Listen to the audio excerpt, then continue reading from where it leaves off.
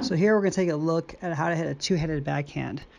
Uh, this first clip shows you uh, a couple examples of how to hit it in full speed.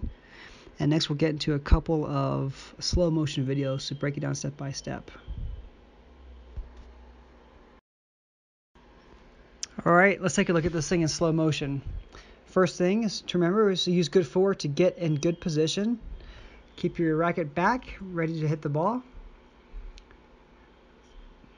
Eyes on the ball, and keep your racket head beneath the ball. Make contact directly in front of you, and keep a firm grip with your left hand. Turn that wrist over, and finally follow all the way through in your shots.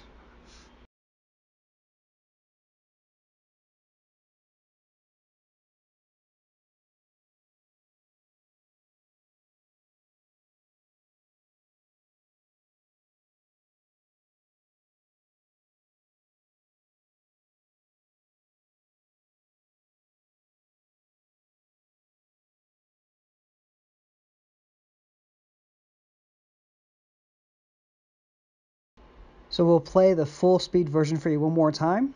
And as you're watching this, just keep in mind there's three key things to a good backhand. The first is to always get make sure you get to position quickly so you're there ready to hit the ball. And the second is to keep a firm grip on your non-dominant hand and pronate that wrist over.